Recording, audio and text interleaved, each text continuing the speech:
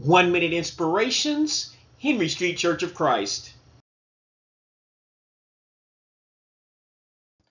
The turnstile does not go backward. Fear none of those things which thou shalt suffer. Behold, the devil shall cast some of you into prison, that ye may be tried. And ye shall have tribulation ten days. Be thou faithful unto death, and I will give thee a crown of life. Revelation chapter 2, verse 10, King James Version. I was in a banking institution not open to the public for about 10 years as an information technology employee. It was a high security organization because it was a data center and it held a vault. So we had to have electronic badges, and one of the entrances had an additional turnstile that one had to walk through to enter the building. This meant only one person at a time could go through the entrance as he or she walked through the turnstile to get to his or her office. The arm of the turnstile would only rotate forward, not backward. So once you move forward, you are committed to walking in that direction only. The same holds true with the Christian faith. Our faith is the turnstile.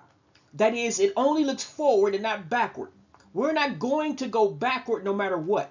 The arm of faith, like the arm of the turnstile, only goes in one direction, toward the Lord and not away from Him.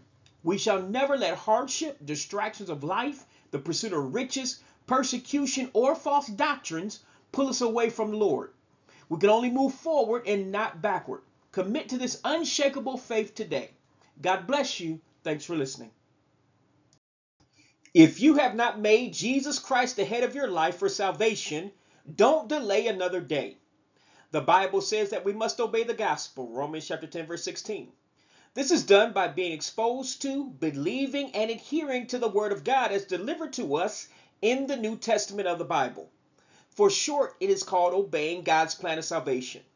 Please see my accompanying video entitled The Six Things That Save in order to do so today. You can reach it by going to the YouTube link below or scanning the QR code below with your cell phone. God bless you. Thanks for listening.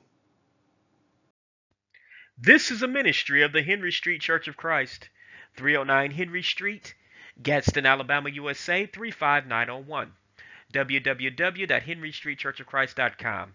Please subscribe to our channel. God bless you.